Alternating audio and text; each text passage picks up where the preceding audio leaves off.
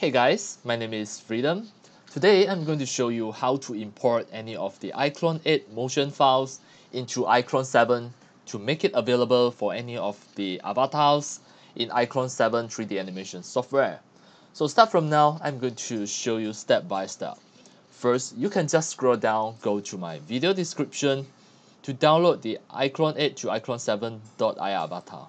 This is one of the avatar that you are going to use in this process.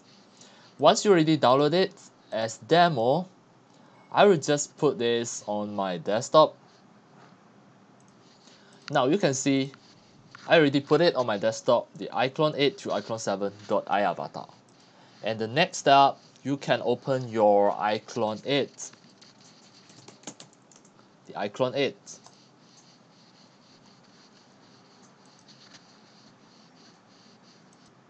Right, now you can see I already opened the iClone 8.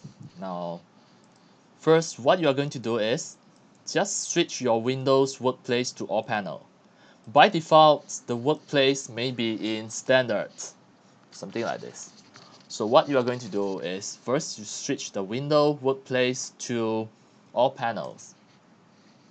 Now you can see the timeline, you can see the curve editor. The next step, in your timeline here, the view you have to switch to fit to window. So next drag in the iClone 8 to iClone 7.i avatar. Drag in and put at the center. Right next. You are going to choose any of the iClone motion file to export. For example I click here. I choose it in animation. This one I have to switch it down a little bit never mind it's okay.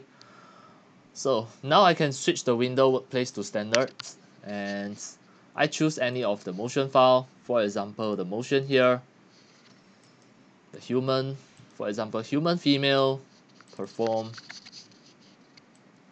Let's say if this is one of the iClone 8 motion file the add-ons I drag in to apply in this avatar first. This is the first step now you can see this is the animation. Alright. So next switch Windows workplace to all panel. You should be able to see your timeline at here. And then the total frame is 1800 sometimes you can change it as well. Just come down go to the project. You can put the end frames. Let's say you can put 3000 and then you click here fit to window the total frame will be 3000 so in order to export it accurately what you are going to do is just drag this so that it only includes include the range just be at at the motions. You can see the motion will be ended at here. So the range must be putting to included the motion only. Next from your iClone 8 trial sorry this is the iClone 8 click file export the FBX make sure that your avatar already selected. Make it become frame 1 first is okay. Click file export export the FBX export it in Maya format. And then choose the range only. The range. Because you already set a range to include the motion file. So included the range only and then click export. And as demo I'm going to export it on my desktop and the file name I will put it as add-ons. The FBX I will export it as FBX now it is going to export it as FBX where is it now? Have to wait for a while right click refresh. It is here already the add-ons FBX and in this tutorial I'm going to show you how to import this motion into iClone 7 so the iClone 7 is our final destination. Maybe you need it in your iClone 7 so what can you do next? You can just close the iClone 8 in order to avoid any of the confuse. Just close it and I don't save this. Next you can open your 3DXchange. Okay, this is the 3DXchange 7. The 3DXchange 7 pipeline long time ago. It can be the Pro version. This is the iClone 7's generation. What you are going to do is drag in the same iAvatar into iClone 3D Exchange 7. Drag in. And next, once it already finished loaded in, you have to scroll down here until you see the motion library. Then just now you have the FBX file, drag in into the motion library, and then choose the current character, click OK. Next, you click the add-ons and have a check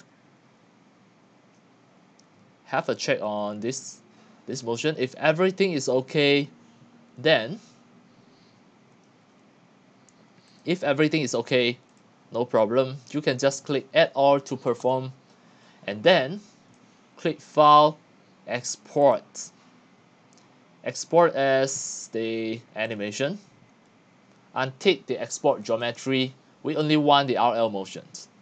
Because in this tutorial we want the iClone motion file to be available in iClone 7 so in this iClone 8 to iClone 7 iAvatar in 3DXchange 7, we are going to export the RL motion, the iClone motion file in iClone 7 format. Export the animation only, then take export RL motion. Sorry, this one we no needs. We choose the other. Export the RL motion and browse. As demo, I'm going to export it on my desktop and click OK and you can see this is the this is the motion file name. You click OK. Now you can see it exported as the RL motion. Actually, actually this RL motion is for iClone 7 so now to try it we may just close this. And we want to test this in iClone 7 so now I'm going to open the iClone 7 the iClone 7.93 the latest version the previous version. Alright always remember in this tutorial I'm going to export the iClone 8 motion file into iClone 7 this is the the, the backward compatibility pipeline tutorial. So now the iClone 7 is opening. Okay let's have a look. This is iClone 7 to test it alright. I may just go to the workplace and take the standards.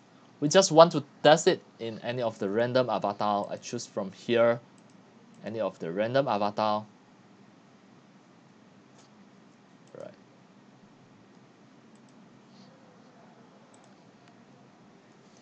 Now this avatar is available. Alright I drag him out to load this avatar first.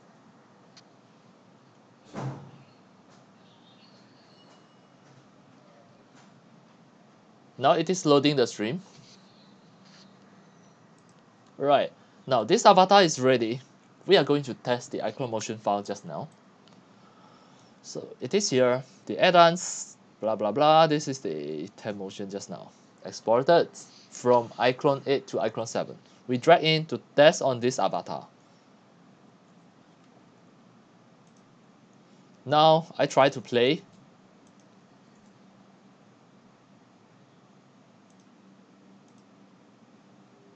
Yes, it is successfully exported to iClone 7 as the iClone motion file that compatible with iClone 7.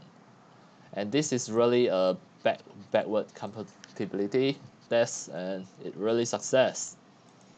Alright, that's all for today about how to export any of the iClone 8 motion file to iClone 7 to perform the, ba the backward compatibility then this is the pipeline tutorial. And that's all for today. Thank you for watching. If you love my video tutorial if you feel all these tutorial are very helpful to your 3D animation and game developing you can subscribe to my YouTube channel and also turn on the mini bell and select all so that when next time I publish a new video tutorial you'll receive a notification immediately See you in my next video. Enjoy, happy animation and game developing. See you.